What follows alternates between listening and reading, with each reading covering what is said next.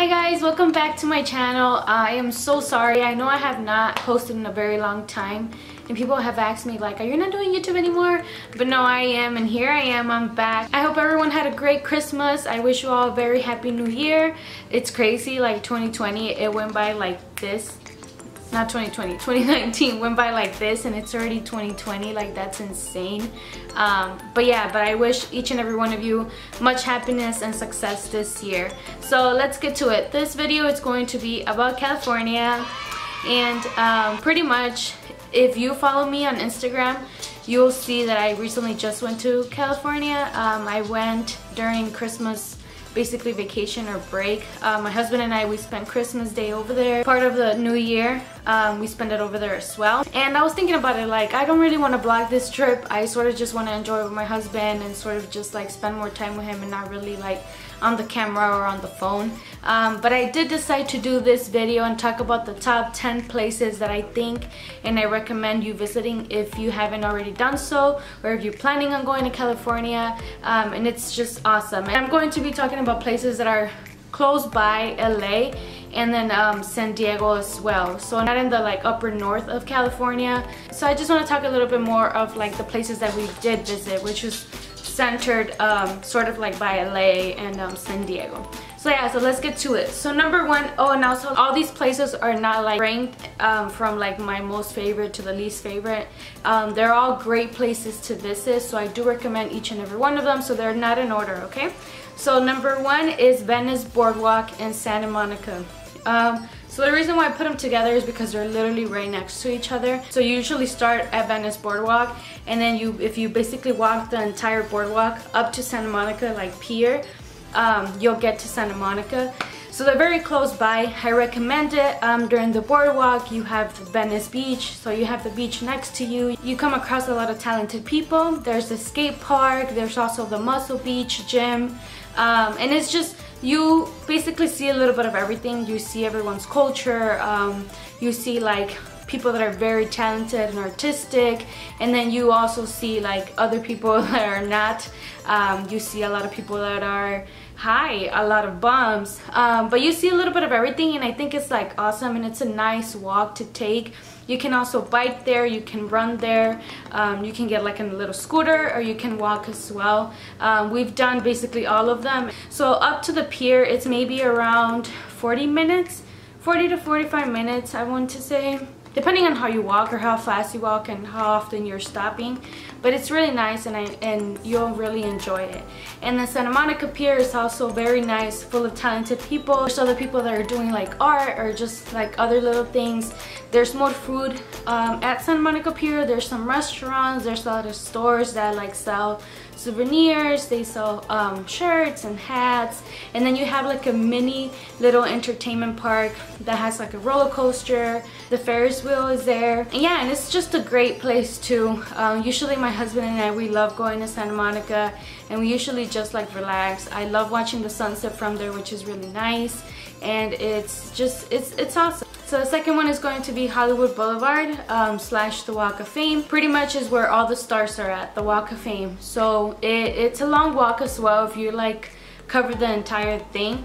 And here it does get pretty crowded because you're sort of walking like on the sidewalks. So there's a lot of people but I mean it's manageable right? I mean it's a very touristic place so a lot of people go there. So they have like the Chinese theater they have stores um, where they sell souvenir stuff but they also have like regular stores so they have like Forever 21 they have Marshalls and just like little stores like that. On Hollywood Boulevard you will also see where all the tours are at so like TMC, um, Starline tours Hollywood tours um, and you can basically catch them from that location and get more information there. There's also artistic people that are basically on the sidewalk. Um, that's why it gets crowded because a lot of people just like stop um, which is great to see as well. They also have like a little mall outlet um, that you can go to which is great too.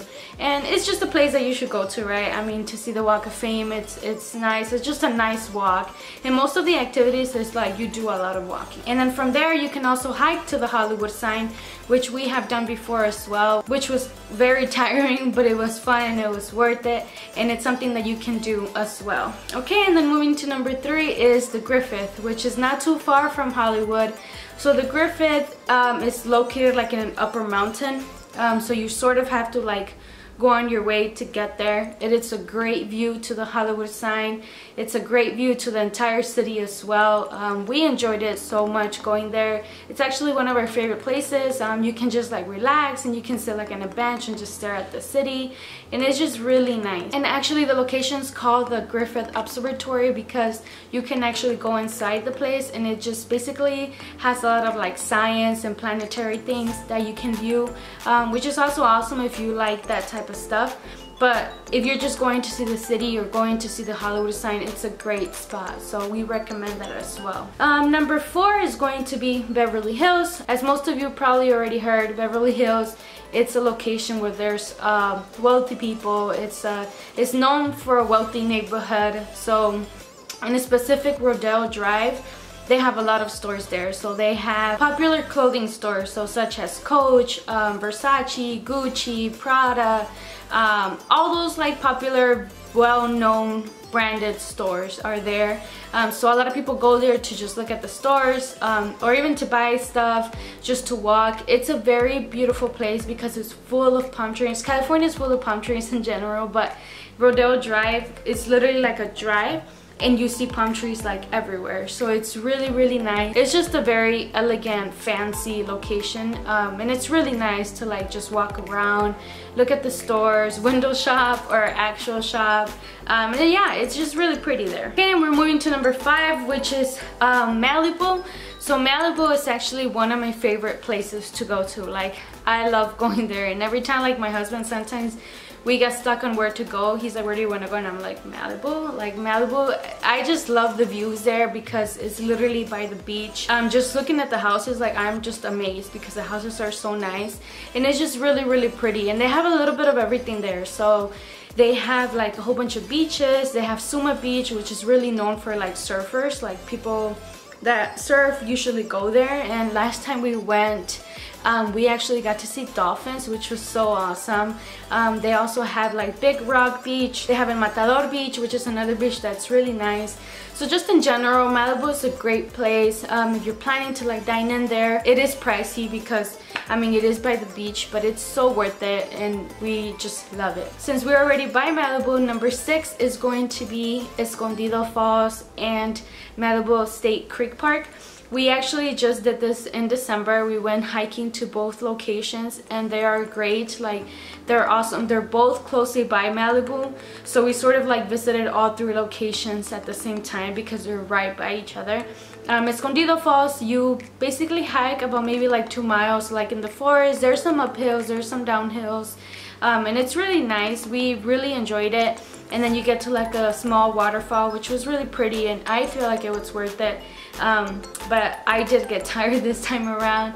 And then the other one is just like a flat hike pretty much and you get to see um, a lot of trees a lot of mountains. You get to see a, a couple of like waterfalls and lagoons and stuff. So it's really nice and we recommend those two if you're looking to like do something outdoorsy like hike. Number seven is going to be Universal Studios. So we didn't get to go to Universal in December but we did go to Universal um, twice already and we love it. Like I love Universal. It's just so pretty and it's just obviously they don't have that here in Chicago so every time we go we try to like do something cool like that. And we enjoyed it. I love going there in the night because all the lights come up and it's just a very nice view.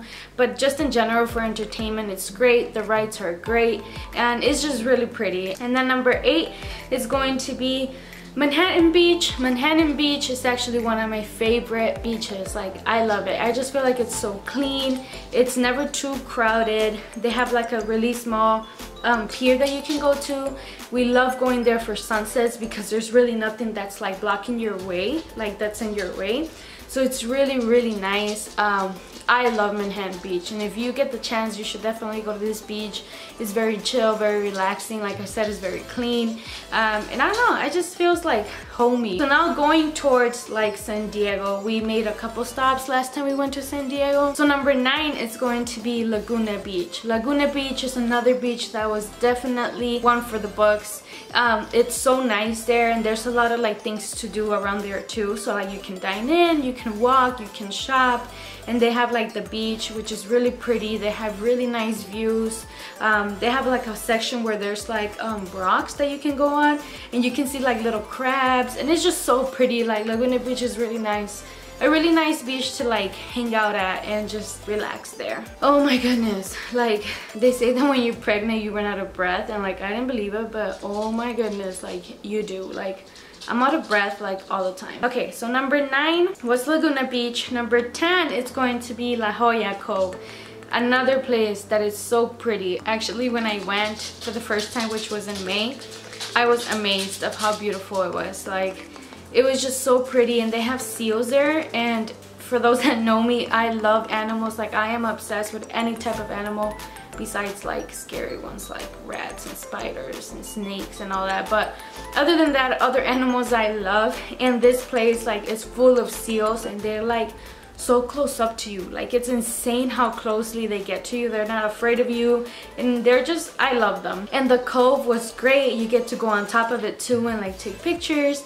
And it's definitely a spot you should check out if you go to California and you want to um, visit like San Diego. It's literally right in the center so you can definitely stop by and check it out. Guys I think I messed up my number. So I think I said the top 10 but I actually have 11 here. So 11 is just San Diego. San Diego is really nice we were able to stay there for a couple of days. It's beautiful in the night. Um, it's like a small city. It's it's really nice a lot to do. The food was great as well. Um, and just a lot of places that you can go to to like take pictures but it's awesome. It's so pretty and i totally like recommend it to go there. But thank you so much guys for watching. Once again i really hope that you get the chance to visit california if you haven't done so already and get to explore any of these locations. Um, they are great. Just to let you know the only thing that sucks about like california is just finding parking. Um, you basically have to pay for parking. It's sort of like here like in downtown chicago but over there you have to pay for parking literally everywhere you go. And like sometimes it's really hard to find parking. Um, so just getting to like find a parking spot or like looking for signs make sure you read the signs as well because sometimes they have like certain restrictions that you can park at a certain specific spot.